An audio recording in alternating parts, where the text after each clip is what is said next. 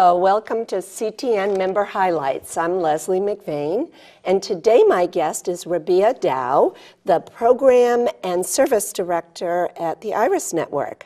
Welcome, Rabih. Thank you for inviting me. Yeah. Pleasure to be here. Well, there are exciting things happening at the IRIS Network, and we'll get into that in just a minute. But do you want to give us a little background on the IRIS Network and, and what it is and does and means to the Portland area? Sure.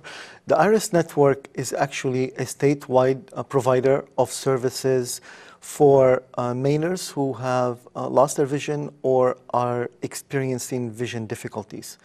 Um, so we have staff um, all over the state, um, all the way to Fort Kent and down to the New Hampshire border and everywhere in between. We provide um, rehabilitation services. Um, we provide uh, resources for folks to uh, help them uh, function as independently as possible on, on their daily life, mm-hmm. be it at home, at work, uh, at school, uh, at play. Um, we've been around for um, over 100 years, since 1905. The headquarters is right here in Portland, um, and the staff uh, as I said, come from throughout the state. Um, and, and, what we, I was in, interested in reading was that you have a, a clients that average around a thousand a year, uh, I, I, think, um, mm-hmm. on the average around the state, mm-hmm. and there are only 50 um, staff members that deal with that all the way, you know, from Fort Kent or mm-hmm. all the way mm-hmm. down to mm-hmm. Kittery. And that's, that's an amazing amount of territory to cover. It is. And that actually, the 50 staff members include the maintenance crew and, yeah. and, and, and the, the, everybody else who runs the, behind the scenes. So it's a small staff. Yeah. And we do work with uh, about a thousand uh, folks a year, wow. uh, year in and year out. Um, the majority of them, uh, majority of people who are losing their vision in uh, in general tend to be older. Mm-hmm. So, um, you know, Maine uh, is actually one of the grayest states, mm-hmm. if in fact the grayest state in the country. So uh, there is a, uh, a, a large uh, proportion of our clients who are senior citizens. Right. But we do work with all ages. I, I, think it's amazing. And um, one of the very exciting things that is happening and that we're going to be talking about is the new rehabilitation center mm-hmm. that just sounds like it's state of the art and long time coming and needed to help people get into the workforce and t- tell us a little bit about it and how it's going to work. Sure. Um, you know, once somebody loses their vision, uh, uh, it, for the most part, it's progressive vision loss for most people, and it creeps up slowly, and you start retreating further and further back into your bedroom and giving up activities that you used to enjoy or that you used to perform. From walking down the, the driveway to get your mail to maybe going to the grocery store or reading your bills or going doing your banking, um, going to work, uh, um, going shopping for Christmas presents. And over time, those things add up. So for the most part, what we've been doing at the IRIS network is having uh, therapists, vision rehab therapists, go to people's homes and work with them at home. But that uh, is slow. Um, you know, there are distances. Blindness uh, is not that common, so you're not going to find too many blind people on the same block. Mm. So you have to drive from one place to another. And so, with a limited staff. And with limited staff, yeah. right. And, and that uh, means that you may see somebody maybe once every two weeks, if you're lucky, for about an hour or so. Mm. But there's a lot to cover. You know, mm-hmm. how can I pour a cup of coffee safely without spilling it on myself, mm-hmm. or use the stove without burning myself or the house down, right? right. Uh, or things like identifying one medication from another, mm-hmm. right? Um, yeah. So, or, or, when my daughter, when she lost her sight, you know, with a new baby, mm-hmm. you know, dropping a glass and breaking it and not knowing right. where it went. It's a safety concern. A Absolute, safety sure. concern. And even, you know, within the house, going from second floor to first floor, or yeah. Um, yeah. you know, for example, if there are children leaving toys on the floor, mm-hmm. or somebody in the family who sloppy leaves their shoes here and there, and you may trip on them.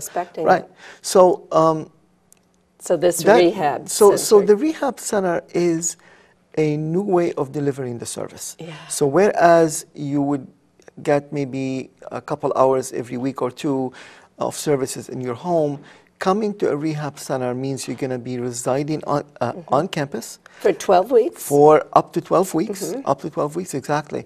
And you're going to be getting about 35 hours a week. Oh, amazing. So It's like an intense, you know, college experience. Ex- that's you know, it. you It's- just it's- uh, exactly. Yeah. So instead of going through the, the, the school of hard knocks, mm-hmm. you're going to a college or know, and getting your education all at once. Right. And even more beneficial than that is that you know the facility we have is three floors, chock full of all kind of technology and resources and, and know-how.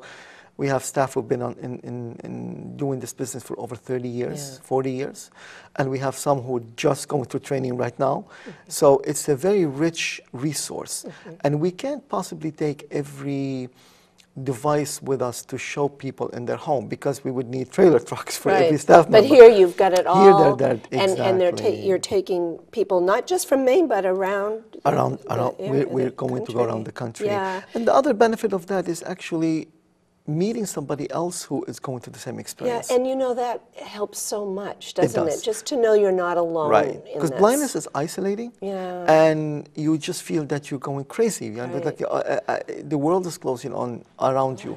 So by talking with other people, you actually kind of normalize the pro- the Yeah. experience. And you're, you're not unique. There are other people just like right, you. and what works for you may work for me, and I may share Right. something with you. So it Now, works. we- we've got to wrap it pretty soon, so I wanted to just, you know, December 3rd is the grand opening. Yes. And you have some really special guests coming. Could you speak a little bit about that? Sure. Guest uh, speaker, anyway. We have we have um, the um, commissioner of the Rehab Services Administration from Washington D.C., um, Mrs. Janet Labreck, who's going to be coming to. Um, uh, to be our guest uh, speaker, and Lovely. she uh, and her organization have sponsored this this this center. Oh. It's a federal, state, private collaborative effort Wonderful. to provide services to the state of Maine and to others outside the And state it of Maine. is state of the art. And you're going to have some other dignitaries from we the will, state. We will um, have exactly the Commissioner of Labor and, Right. and other um, yeah, members of the legislators will be present. And now, is it open to the public? Or? it is. We welcome anybody to come in, and uh, whether for this uh, open um, grand opening or to just stop by and see what services we have, and Right. or just call if they think they, they can benefit from services from uh, seeing an optometrist for low vision to learning technology. They're, they're uh, amazing because I've had to call for various reasons, and they, you know, they're right there with the answer.